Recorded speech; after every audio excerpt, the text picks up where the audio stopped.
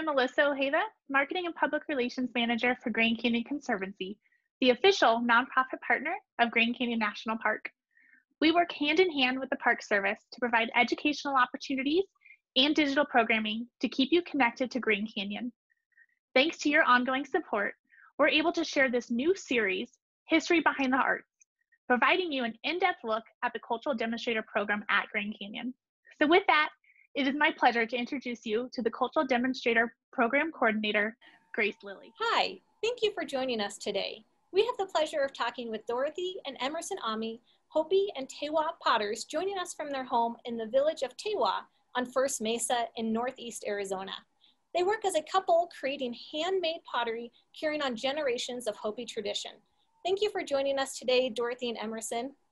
Good morning. Hi. Hi. Dorothy, can you share a little bit about yourself and what drew you into pottery? Sure. Um, hi, everybody. Um, pottery, when I was young, I didn't have a love for it. I was a teenager, and you know how teenagers are. They we would rather play ball and uh, run around, hang out with friends. But in the corner of our dining room table, my my cousin Mark and my grandmother Early would be making pottery. And even as a young child, I would watch them. And my grandma would push Early, her name was Early, would give me some uh, clay and I just make little animals and, you know, run and take off.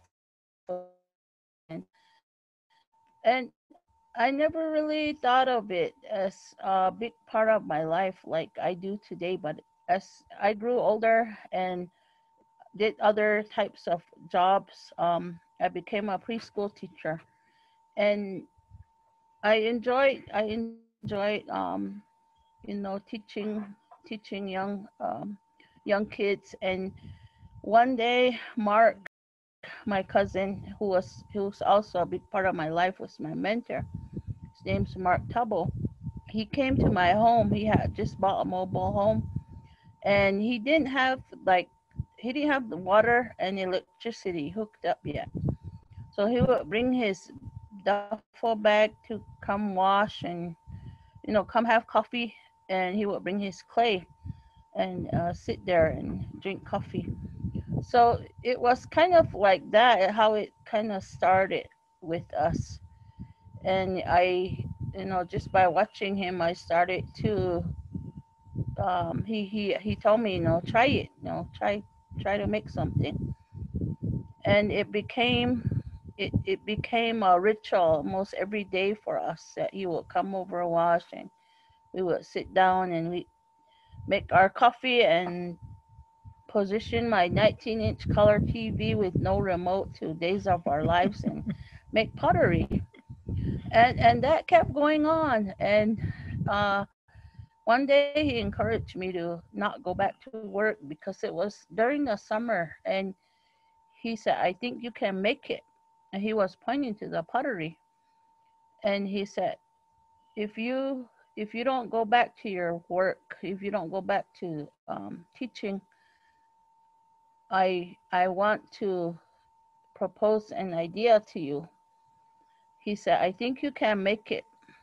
He said just by watching you I'll, this is what I propose. He said, I'll show you everything you need to know, which you're already, already learning. I'll take you to my shows. I'll take you and me and introduce you to the people I work with. Um, and so he said, I'll, I'll give you time to think about it.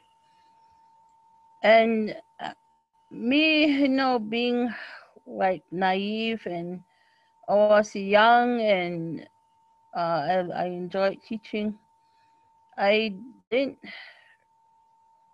I I I thought I started doing the pro and con of it, you know, because the biggest thing was no two week paycheck, which you know you you have to make a living somehow, and and then thinking about wow if I really do this I'm gonna have to what they say hustle you know and get good at this and and all, all these other things it was just like a fresh start so in the end, I decided to to take him up on his offer, and so it began. um, I was making little little tiny pots, miniature pots, and I used I call them my bow and hope drama pots because remember we were watching like watching days of our lives and uh, making pottery. So all those miniatures out there are my I call my drama pots, my soap pot, soap soap pots, and it, it it brought me a little wealth, you know, like five dollars, you know, can you believe that, or ten bucks? Um, but when when it was time to really say, okay, no job, no, he encouraged me to start making big pots, bigger pots, and that was the challenge for me. Um, and I did, you know, I started making big pots. And along came with the bigger pots. Was the bigger challenges and the the frustrations the emotions um, because i would i would make them i would hand coil them let them dry and it was uh, during the sanding you know i would go through it it was the walls were too thin or if I got to the end with the firing, then it would blow up or it would crack. And I, at the time, I just felt like, what, what kind of um, demon doing this to me? Because it was frustrating. I would cry. I would cry because I slaved over this pot and, and, as I grew older, I found out, you know, that, that it's just part of it. It's part of life and growing with, learning with this pottery. Working, I'm just gonna go back to work, and he would, he would say, uh, no, you know, he would kind of get a little tough with me.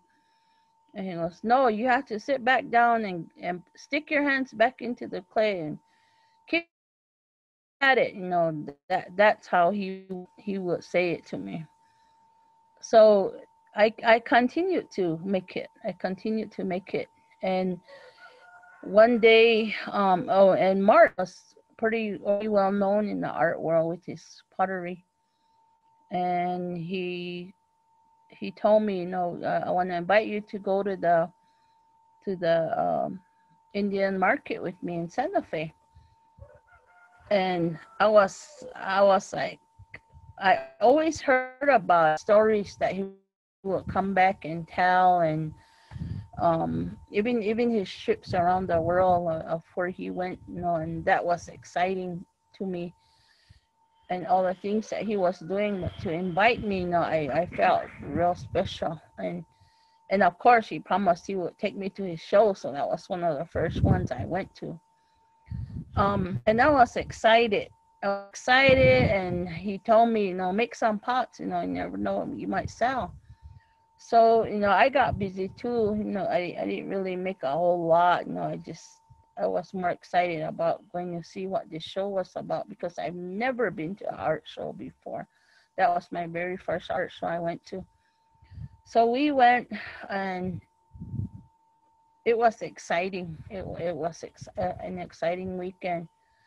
Um, the first evening we arrived, we went to dinner with some people in a, in a quaint, uh, fancy uh, cafe. And I didn't really know, I got introduced to them, but what I was really really worried about more so was all the silverware that were on each side of the plate because I've never been abroad or anywhere before, you know, and never spending a night anywhere for a long period of time, just always at home. And he he was having conversation with them, and I would, and then the wait waiters kept bringing these these food, the food, um, they were I, I guess that's how eating goes you know you get the you get the uh, appetizer, then you get the salad, then you get the uh, Main course. the main course, and all the time I was just worried about which utensil went with which plate. You know, what what's this for? And, but I kept using the same one. But in the end, I mean, in the end, our main course was a little piece of meat and three little red potatoes and two slivers of carrots. And me being a Hopi Hopi lady, big Hopi lady, I'm like, who eats like this? You know, where we want fried potatoes and a bigger piece of meat and uh, a tortilla. so you know that was already my experience with that, and in the end, we left. You know, we said our our our see you later, you know, tomorrow and all that. And we left the cafe, walk, walking down the sidewalk. I was so full. And Mark, I, I, I looked at Mark and I said, who were they anyway? You know, who were those people? And he said, oh, my friends. And they own the Ford, Ford Motor Company. and I stood there and I'm like, oh my God, are you serious? And he said, yeah, you know, and it was just like nonchalant to him. I was like freaking out, like, wow, I was sitting with the owners of the Ford Motor Company and I didn't even say anything to them, you know, interrupt them because they were talking about art. And he said that they had purchased some of his pottery to go in their main um, buildings and they were friends so you know it this is the weekend that i really found out who my cousin was because to me he was my mentor and my cousin and it was a different feeling you know going there with him and finding him out because the next day we we had to get up early um really really early get to his booth. As we were walking i saw a line of people and it seemed to be like a line for coffee or maybe a breakfast burrito. But come to find out, as we got closer, he said, This is my booth. And there was a long line of people. And I was like, Wow, what's going on? And so we had all the pottery, and he goes, Where's the table? Put the table up. And I was like, Oh my God. I felt like a little puppy. I always felt like a little puppy wagging my tail behind him because I didn't want to miss a beat, but um, I I forgot the table and I was like, oh, okay, one X on my on my student rating, I guess. And and as I said, we didn't bring it, so we had the pots that were wrapped So we were really Indian style. We just we just unwrapped the pots and threw the serapes on the on the uh, ground and we put the pots there. I mean, we we could we could go and run at a table. I mean, these people were waiting. Um, and then the there was a there was a guy. He was just waving a paper in the air and I'm first, I'm first. You know, I was everything was just so like wow to me. And he said okay. And so he got the mark got the paper. He called him up and he explained to him about the pots. And then mark told me he said okay however they pay i'm giving it to you. And you take the pot wrap it up and give it back to them. And i said okay. So i was the assistant so i couldn't mess up. So it it was like that, you know. He, if they wanted to buy it, but it was in their price range, they would take it. And I tell you, within less than an hour, we had no pots. And these people were already rushing over with their jewelry cases, and I was like, "What do we do now?" You know, and he the uh, blanket and there was still people waiting in line and he made an announcement to them saying if any of you still want a pot you know leave your information on this paper. So they were doing that and he was like how much did we make? And i said i don't know. And i had this little rinky dinky calculator and i was trying to add it all up and i couldn't believe the first total. I said oh this is it right. I have to do it again. So i did it again. It came out the same but I couldn't believe it. And then I did it. I added up again the third time, and by this time he was anxious. And well, how much did we make? You know, kind of in that tone. And I said, um, this is how much it said. Uh, it says the calculator. And he goes, oh yeah, that's about right, you know. And I sit there with my mouth hanging way down to my feet and I just, my eyes wide open, if you can imagine that. $50,000 in less than an hour. And at that moment, I knew that I was gonna really become a potter.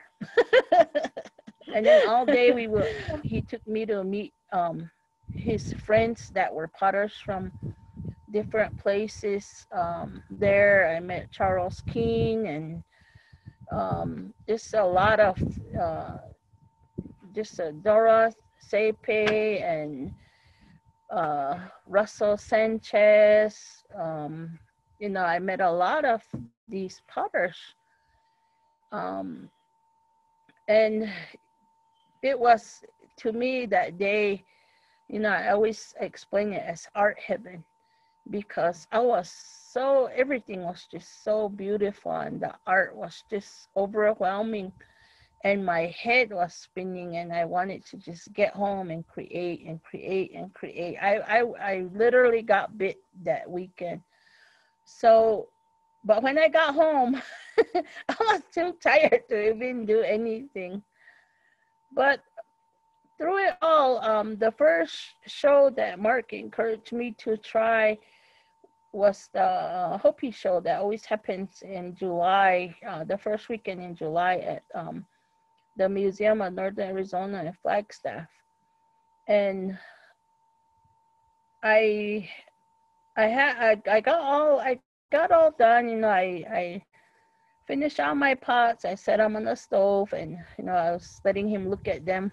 And he just encouraged me, you know, to to go to the show, do well, and he wasn't gonna accompany me. So I was really like out on my own.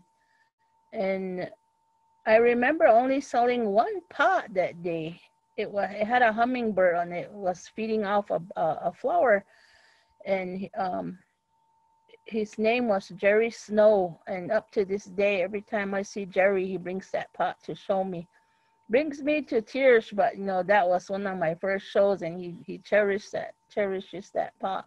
But all weekend, that was basically what I saw and got discouraged again. Um, and then after that, you know, just just continuing to get more comfortable doing shows and um, stuff. Uh, conti- him, he continued to mentor me until 2018 when uh, we he passed on and to this day you know it he's still a big part of my life even though he's not here um yeah he, he left me with the best gift and i know that i will carry it on. Amazing. It's a great memory to know of mark and emerson. Um, i'd love to hear a little bit about what drew you into the arts and if you had a mentor or someone who inspired you as well. Good morning everybody. I'm name's emerson. I'm corn clan from three different tribes, Laguna, Tewa, and Hopi. For me, Mark was not was a mentor, but he wasn't really kind of that close with me with uh, as Dorothy was.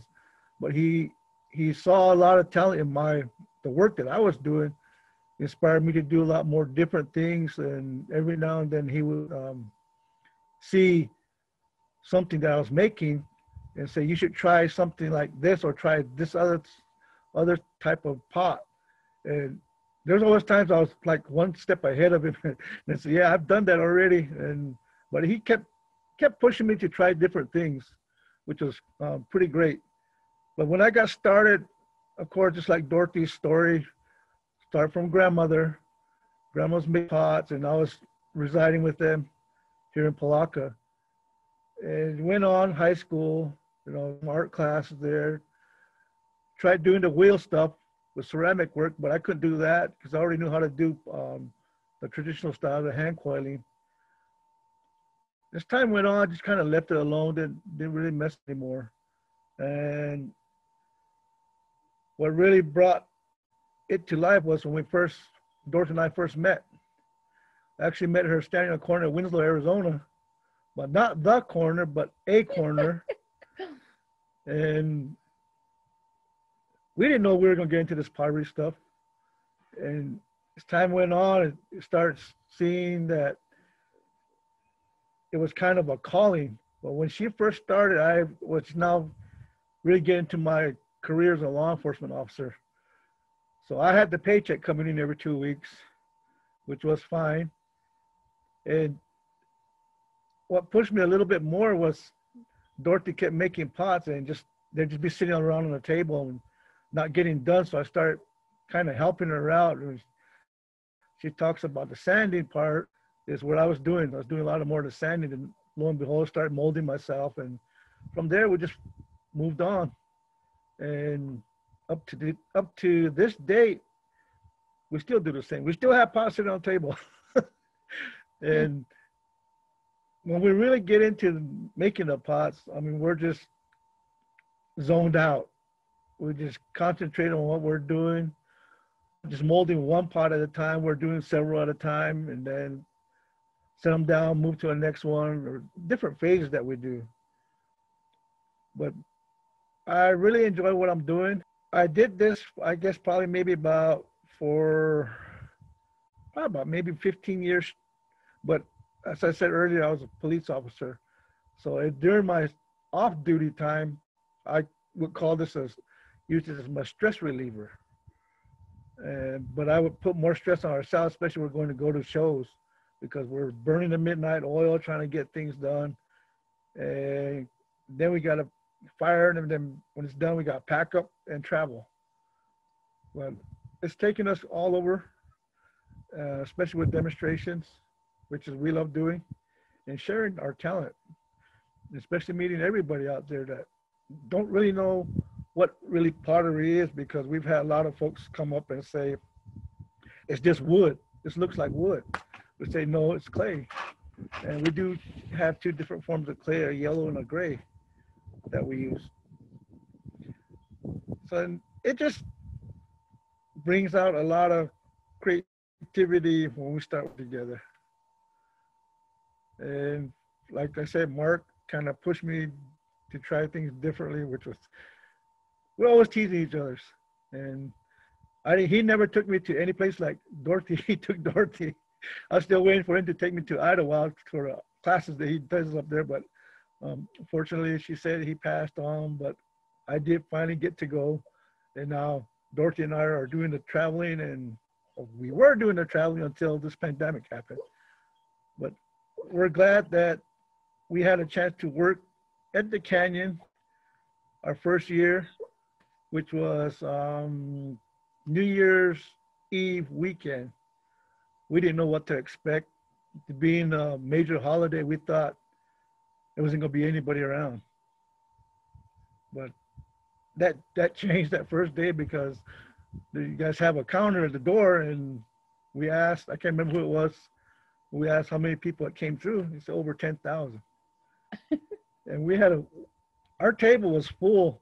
By the time we left, we didn't have nothing. I think the day before we didn't have anything left on the table. So we're just demonstrating and talking to people, which is so amazing, especially the background in the canyon. Just brings out a lot of more creativity that can think of. I'm so glad that you remember that fond experience of your first time at Grand Canyon. And I know you guys do a lot of um, work yeah. with uh, natural materials that you actually process and um, create your own. Emerson, do you mind sharing a little bit about um, how you process the clay materials before you guys are even able to start shaping pots? Our clay is natural. Dorothy's going to show you a picture of, of me at the at a clay mine site that we where we get our clay at, and that's me just getting the clay there, and it comes in natural color. And then when I do get it, it does look big chunks like this here. And then what I do with it here is I'll, break it up to smaller pieces. If you can see inside this bucket, got smaller pebbles. With this, I will process into a five gallon bucket of water.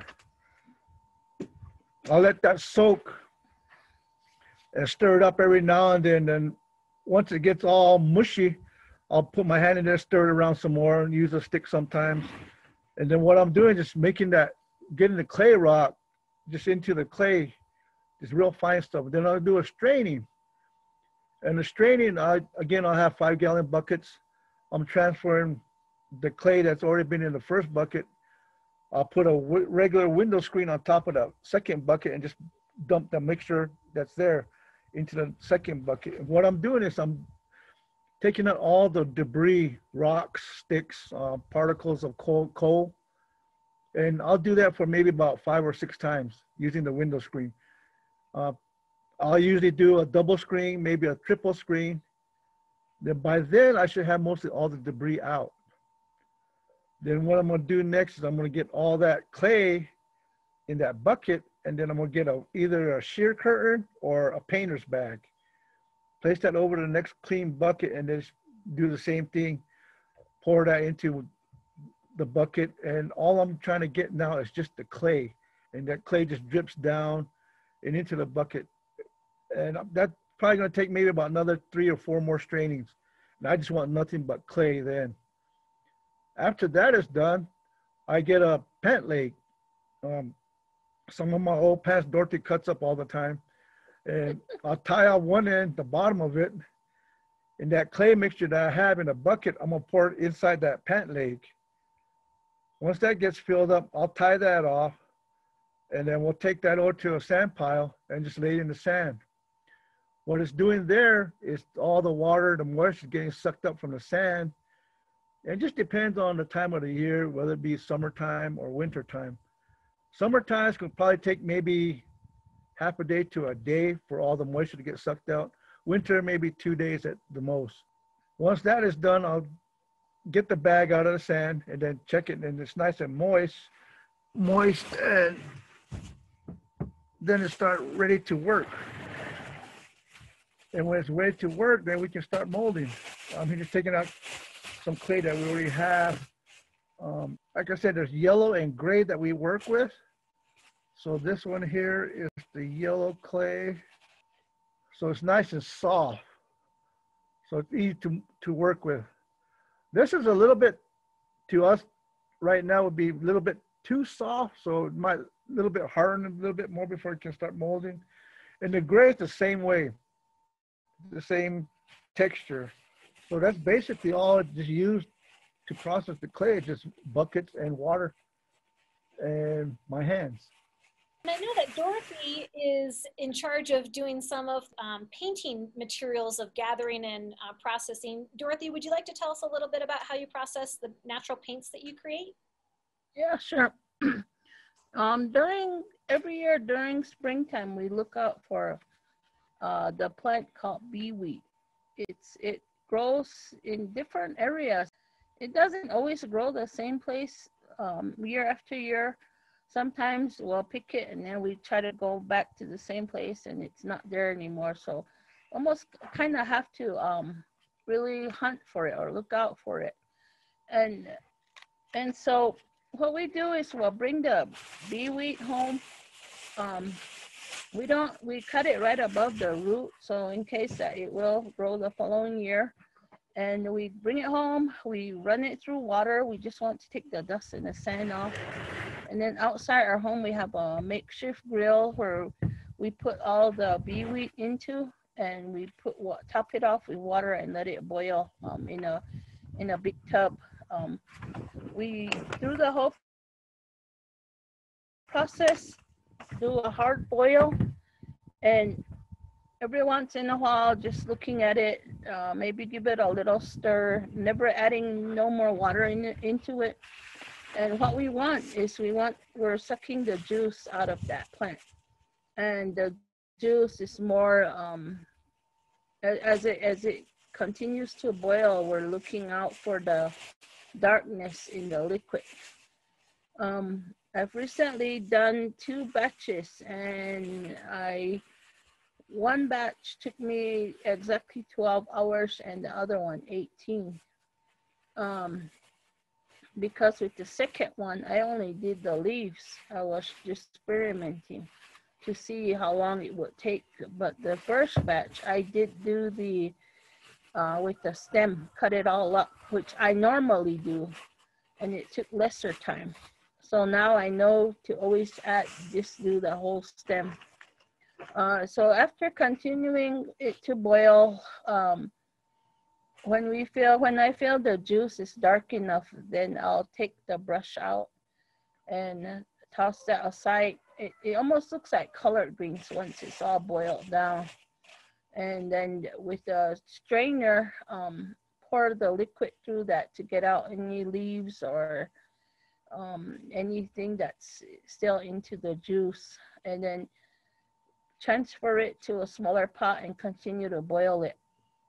Um, it just reduces all the way down and about maybe the 10th hour, you really want to watch it. You, you get it at a simmering point and you, this is when you start to stir it to make sure it don't burn. Um, and if it burns, there goes your whole day on making paint. In the beginning, again, when I was learning, I did uh, try to make my own paint without the assistance of Mark because I wanted to show him I could do it. And lo and behold, I burned the whole batch. Um, and it when I burned it, I always imagine it looking like the charcoal pencil. I mean, it was it was gone. It was just like dust. Dust. So now I learned how to um, uh, cook it. So now I've been having success with it. Um, so about the 10th hour, we want to start stirring it. It's going to start to thicken almost like a taffy. And then when it's ready, then we just pour it on uh, corn husk. And this is how it looks. So this will take a while to dry, but when we're ready to paint, all we're gonna do is clip off a piece of that and put it on our painting stone with some water and it'll go back into the uh, liquid. This is just a way to preserve it um, instead of putting, keeping it in liquid. So, so it doesn't, um, you know, like, uh, how do you want to say it? It doesn't dissolve, you know, it, it's better to keep it in this form. Um, some potters um, know how to make it and some don't. I mean, you really, any, any part of the pottery making that you don't have, you can't finish it. So, you know, I made it my, one of my biggest life's lessons is to learn how to make paint because it's a, it's crucial to the end when you fire and you want to make sure your paint sticks onto the pot.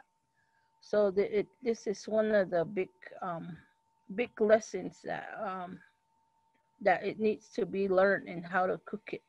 So we've we've had success with our paint. That's really nice to hear. Thanks for sharing, Dorothy. Um, so I know that you guys have several different steps that you go through, and I thought Emerson might be able to take us through the first couple of maybe um, some of the coiling and shaping that you might do for some of your pots. So, like I said, once the clay is ready and nice to the the feelness that we get with the clay, I'll get a chunk of it and just make a ball. Start off with a ball. And what I do is I'll pat this down. And Dorothy explains this that she does this and makes it to a, calls a sausage patty. So she claims to make the best sausages. So actually all I'll do is just make it a little dish like so. And just like that.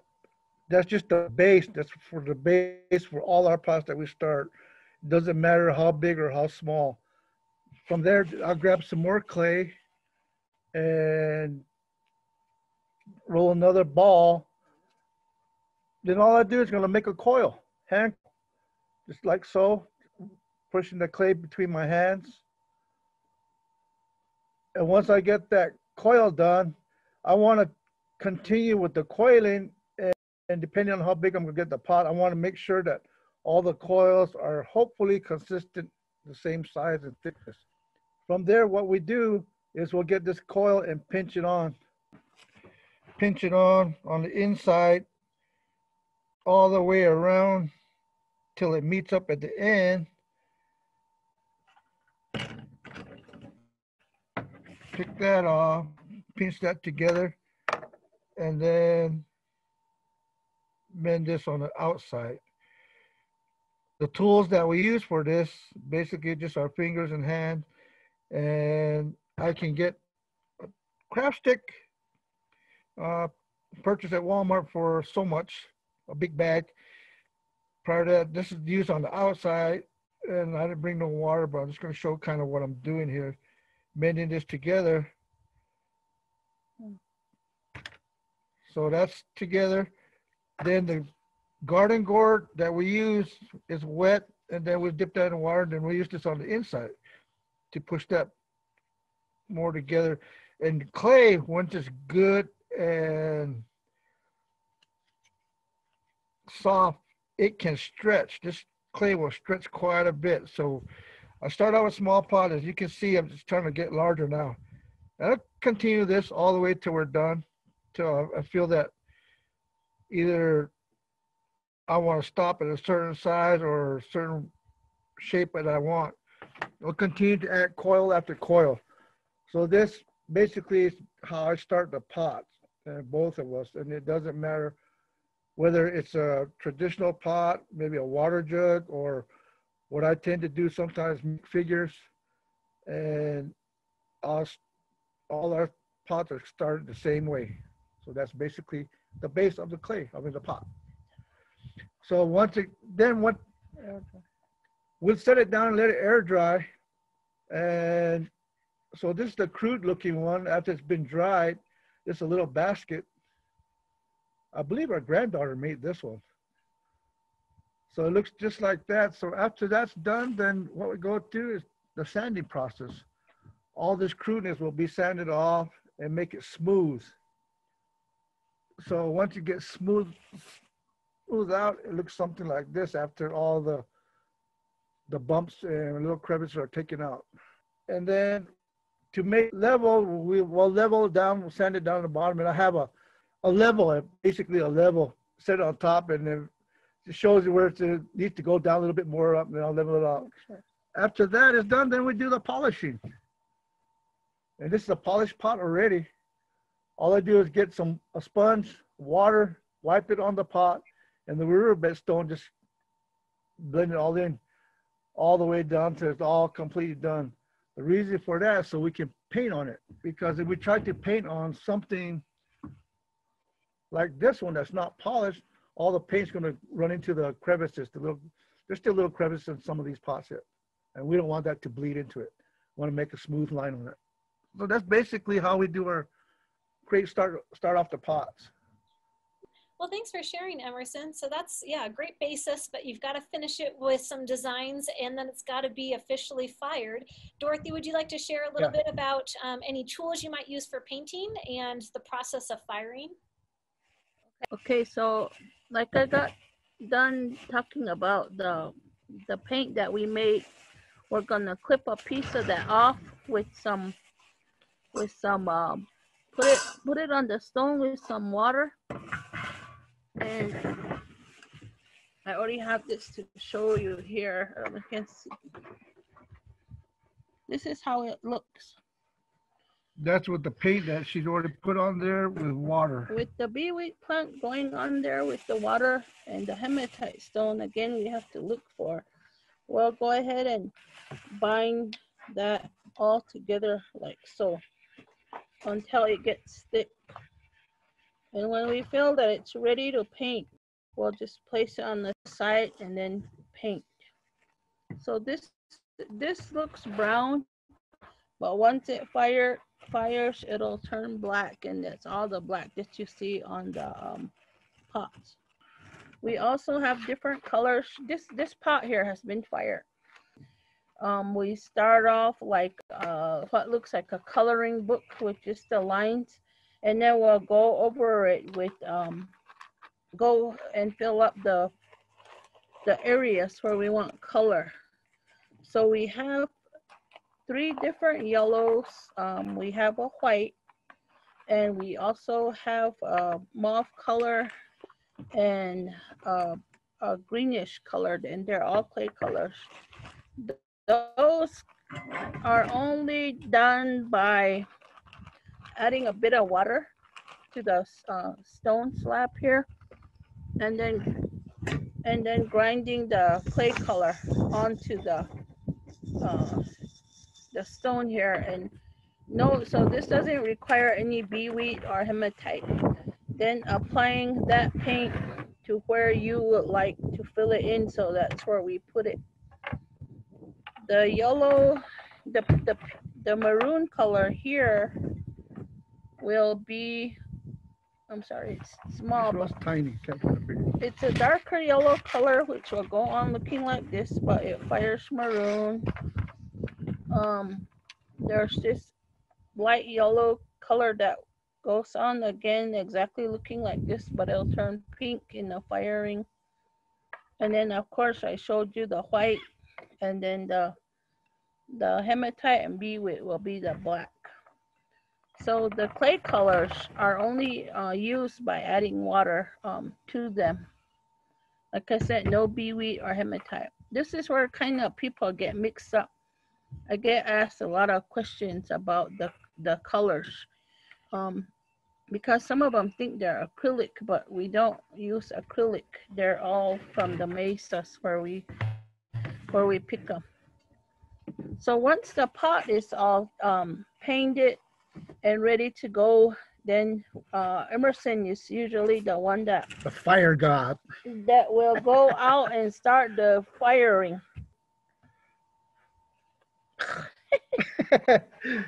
so He'll go ahead and talk about that. after we get all the pots that we have painted and they're ready to be fired, we're gonna do a preheating and then the preheating helps bake on the, the pot, the paint.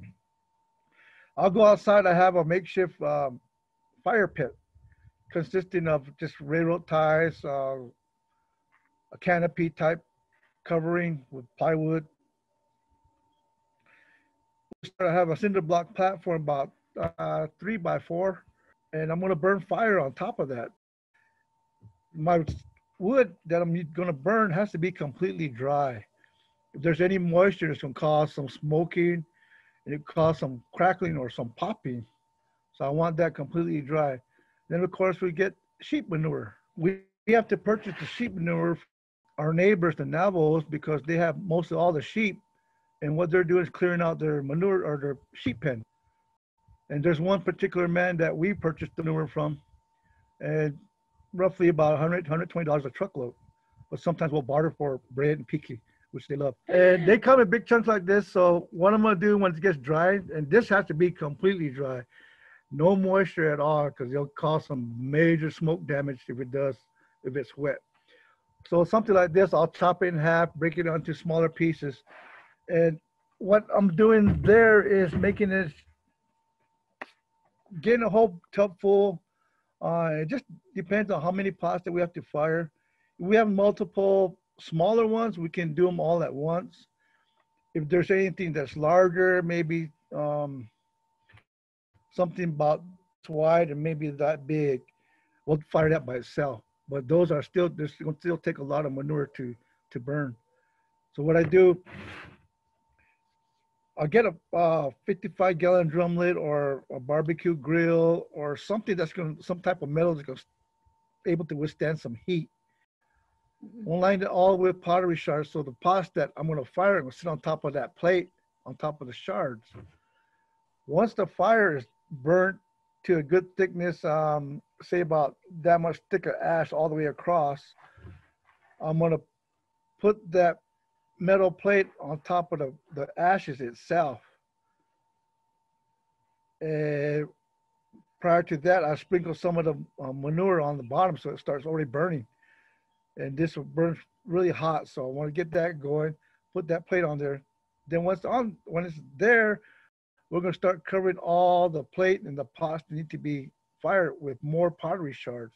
So it kind of construct like a beehive all the way around it. We start stacking the manure around the, the base of the, the ash bed and just build it up again, covering up to a beehive type. And that'll start, that'll burn it'll start burning, especially if it's really dry. It'll sometimes it'll just combust real, quickly, and it'll burn for a good hour. cool down for the next five. So basically, our fire consists about takes about six, seven hours at the most. When it's burning, we'll stand out there, listen to the fire itself, because when we first started firing pots, we were losing a lot of pots due to breakage and popping because there was something that we didn't know what was going on. And Mark had finally asked Dorothy what, how we are doing our firing show, and said, "Well, you're not preheating."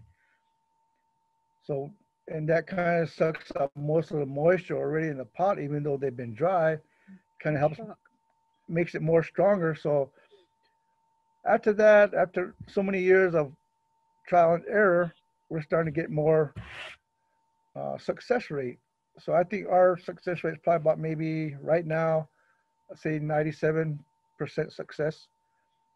We haven't been making pots since the pandemic started. Um, we just there recently fired twice, and those are just pots that we had sitting on on the shelf. I explained earlier, and those some of them did pop. Yeah. Um, I don't know. Maybe they got tired of waiting to get done. but that's basically our our. Once the fire is done, after it's cooled off, then we reverse the process. Take off all the manure, ash, remove the shards, and I will explain that this part is usually like Christmas because we know what we put in, but we don't know what we're going to get out. And there's a lot of time when the paint that we see and the fire blushing that causes from just the heat itself actually start forming right before our eyes. And we've, that's one part of the demonstration that a lot of folks don't get to see is the firing. So Dorothy had did a, a PowerPoint display, which we used a couple times at the canyon and people are just amazed at what how we actually do the whole process from start to finish. And a lot of folks think that we use an electric kiln, but we don't. Ours is traditionally done. Well, thank you for sharing that process, uh, Dorothy and Emerson. It's detailed in every step, and you've got to be careful with how you manage everything, but I'm glad your success rate is going up. Um, I'd like to hear a little bit, maybe Dorothy, if you tell us a little bit about how you connect to Grand Canyon either personally or culturally, and how that um, is reflected in some of the pots that you make. Well, um, culturally, the you know, we were we're also as young people, maybe from our our grandparents or our uncles, that uh, Grand, Grand Canyon is a very spiritual place to us because uh, we came up from the third world that we were into the fourth world. We were almost like given a chance to be better better people and stewards to the land. And so there's a, a place there in Grand Canyon where I, I don't know and probably many folks don't know where we the hole is that we came out of It's called Sipapuni. And so that that's you know the the big tie to how we're we're uh, joined in that way to the Grand Canyon. Also, um, back then, you know, the ancestors they lived there until they were ready to start moving around, and they went to find they they moved around and went to different areas to um, start making their own homes, you know, like maybe going toward the mesas or down south or going east, west, you know, north. And that's how, you know, they started branching off. Um, so culturally, you know, that's how we're, we're, we're connected. Um, I'm pretty sure there's probably other stories that, that weren't told to me. Um, personally, I always knew that Grand Canyon was there. And I never realized how short of a trip it was until we got asked to go demonstrate there the first time. And I thought it was gonna be a long drive, you know, until we actually took it. And I was really like, wow, it's just right here. And we never really came over here. And I don't I can't remember how many demonstrations we've done, but being there the first time during the time it snowed, it it just overwhelmed me. It was so beautiful with the snow all over, you know, and I I, I actually just cried and just it, it, I got overwhelmed, you know, by the beauty of it and this. I mean, it was just nature, you know, nature's creation. And after going there so many times now, um, it it feels like I get rejuvenated every time, you know, just being in that clean, crisp air and watching people, observing people by the ahs and the oohs of it, and you know, hearing them express how beautiful it is, you know, it makes me, it makes me feel good to know that my tie there is more personal than them, you know, something that they'll never they'll never go through or understand or don't know about, you know, and you want to tell them, but you know, you just sit back and listen to them, and um, you know, just makes me happy to know that they're, you know, what they're seeing is is gonna be an embedded memory of their trip there. Yeah, so you know, I I I get that connection like that, the spiritual connection there. Well, thank you for sharing, Dorothy. And Emerson, would you like to share anything about a personal connection that you have to the canyon or, or anything that um, Dorothy didn't mention culturally that you'd like to mention? Well, it's basically the same, the story of how Hopi arrived. But as I look at it, it's true that all these natural wonders that we have in the world, and to know that Grand Canyon was one of them, it's true that and I think it's probably true for a lot of folks that we have all these national parks and sites that are available to us, but we never take advantage of it until something happens or you get asked to go somewhere. And I've I've seen quite a bit of land because prior to my law enforcement career, I was doing wildland firefighting, and I actually did some firefighting on the canyon on the north rim um, but got dropped off on one point that was burning by the helicopter, and we stayed out there for like three or four days, and then he got flown back out. Well, just seeing the canyon in real life person, and knowing that that's kind of where our ancestors came from, and to know that it's just a natural wonder that was created by the wind, water, and just the natural elements which kind of connects me that I can create something with my own hands and especially being there doing the demonstrating it, it just brings a lot more mm-hmm. inspiration and creativity to it mm-hmm. And it's it's just a wonderful place to be especially when you're doing the craft work and um, meeting the people like dorothy said there was there was a lot of folks that come through all the times we've been there, and they're just amazed at what we're doing. And even though we don't understand some of the language they're speaking, you can actually feel know what they're talking about. Well, that was wonderful to hear about your ties to your ancestral homeland here at Grand Canyon and those experiences that you had when you came back to visit Grand Canyon. And I'm just wondering if you guys would have um, a moment that you might be able to share that comes to mind a pivotal moment as your time as an artist that really made you think about this is worth it or this is a memory that I will always have that I, I made it as an artist? Yeah, I I really I really um when I thought about this question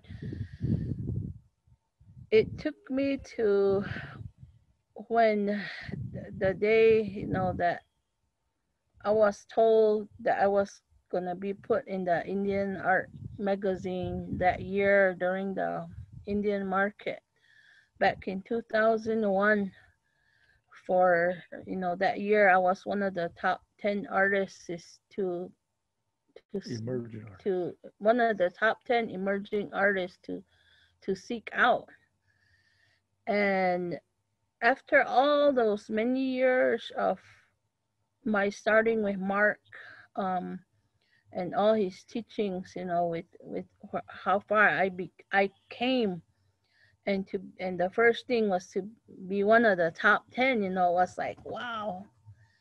Um, it, it was. I had to sit down and I had to.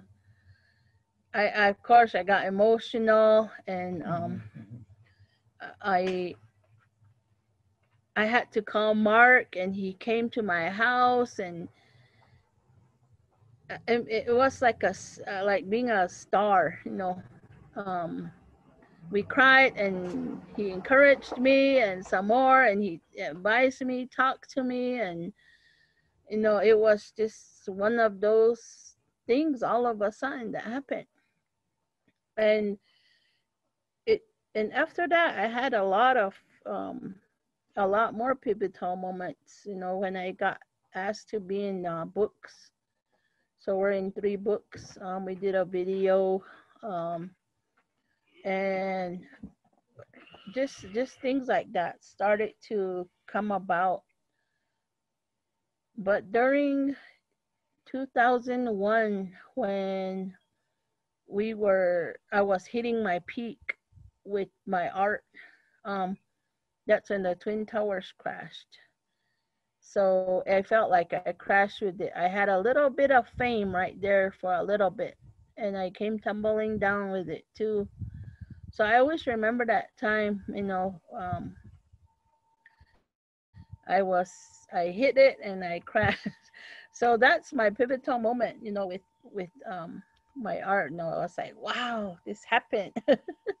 I couldn't believe it but um that's dear to me you know that's to my heart you know, we all get humbled at moments in our life, and I'm so glad that you've been able to make so much progress um, and just some amazing pieces that people have really treasured. Um, Emerson, do you have a pivotal moment in your career that you would like to share um, that's just a memory that stands out for you? I think for me, being a police officer majority of my, my lifetime and traveling with firefighting and uh, law enforcement, seeing all the whole con- different con- parts of the country. I think the most pivotal time for me was when I obtained a few pieces of my grandmother's pots. It actually came back getting ready for Indian market one year, and um, Dorothy's the one that made the connection with one of the gallery owners, and he's he said I have might be one of your relatives, and he showed it to her, and showed she showed me the picture, and it was it had my grandmother's name on there, Eleanor. So she had a canteen and two ladles. So I made the connection with him, and I said, "Hey, I got some pots. We want to make a deal, so I want to take all those three. So I did make the deal with him, and I brought them home. And I gave one of the ladles to my dad. And just knowing that these are her pots that she actually made when I was growing up. I may have seen her make them, don't know for sure, but those were some of the things that she did a lot. The canteens, the ladles. Um, she made what she called pencil holders, ashtray. But these are just some of the things that I know that she made. And as with all of us, we have our own signature on our pots, and hers was on the back of that canteen. So that is most treasured items that I have. And we had it displayed in our shop after we obtained them, and I don't know how many times somebody wanted to buy that canteen. I just had to put a si- a sign up there, not for sale. but that that is my most pivotal because it brings back, you know, the teachings that she shared, shared with me, and I know that I have something that she made. Well, it's great to hear that you've been able to come full circle and make your own pots as well from what you've learned from your grandmother. Um, I think our final question that we have today is Do you have any words of wisdom that you would like to share with other artists? Yeah, never give up. Never give up.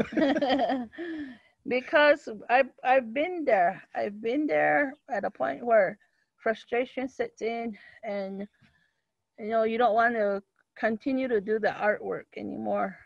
But just like what happened to me overnight, you know, boom, you're you're top ten, and that that says a lot. You know, you think you might not be seen, your art might not be um, seen out there in the world or being sought after, but little do you know, you know, that these things happen.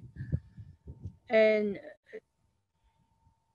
and even if a, a lot of times I hear people get upset when their work or their design is uh, copied. And in the beginning, I kind of went through that phase, but the way I see it now is that even if your work is copied or your design, be proud of that because the design that you put on whatever you were making was your creation and it was good enough for somebody to copy. And it means more to you than it does to them. So that's that's my advice. Just never give up and keep keep those hands moving. We were all gifted with with a talent that some some of us don't have and some of us have. You know it's anything cooking singing you know we, we all have talents and we just need to uh, reach further inside of us to bring it out Same thing for me, but and like Dorothy said, if you have a design that someone copied, you know, it does mean a lot more to you than them. But you never know. There's somebody out there will probably see that same creation and say, "Hey, I know where that came from." And I never thought that the pots that I've made so far, someone would actually see them and, you know, contact me and say, "Hey, I have your pot I bought from wherever, or I've seen you at some demonstration. I've Craig got one of your pots. Can you do me another one? And those are those are times when you try to start thinking back. Wow, what what what did I make or what did I do? But once you get noticed, I mean, it just continue on. Just don't give up. Share your talent, your kids, grandkids, Mhm. and encourage everybody. I know there's frustration in any artwork that we do because sometimes I always say there's never a perfect pot out there. There's always some imperfection, but we're not going to tell you where it is. and stay humble with your artwork yep. stay humble Thank you. Did you guys have anything else that you would like to add? Well, Uh, just for as far as this pandemic is concerned, just do the best you can. I know it's frustrating. It's frustrating for us, but we're glad that we're actually kind of getting back into the field of making pots. We kind of put a damper on both of us, and I think for everybody out there. But we're like I said, we're getting hit by just doing a little of the pots that we had, finish them up, and put it out there on Dorothy's Facebook page, and we sold what we've had. mhm. So it kind of encouraged us to keep on going. Yeah. I just want to thank the um, Grand Canyon for um, the interview and uh, continuing to have faith in us to do this and us having faith in you to Bring us help back. us help us to um, get our artwork out there in the world because there's so many people that don't know what we do you know there's so many types of art and i just want to thank you for this uh, for hosting us and um, good luck to to everyone to the artists and to grand canyon and i'm sure we'll be back you know maybe next year Kuna.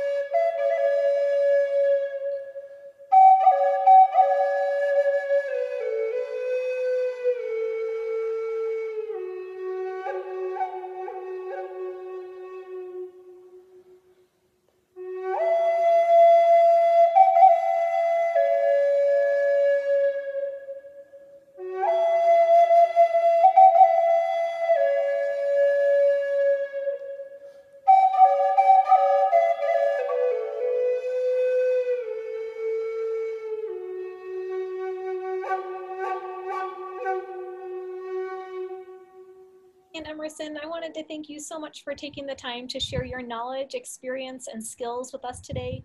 It is an honor to have you be a part of our cultural demonstration program, and we appreciate your efforts in helping more people feel connected to Grand Canyon, its history, and its spirit. Thank you so much, Grace. And thank you, Dorothy and Emerson.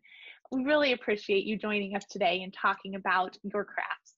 Grand Canyon's Cultural Demonstrator Program is made possible supports and grants from Grand Canyon Conservancy and Art Place America. To learn more about the artisans in this program, go to grandcanyon.org forward slash demonstrators. Stay tuned for more history behind the arts features on both Grand Canyon National Park and Grand Canyon Conservancy's social media pages. Thank you.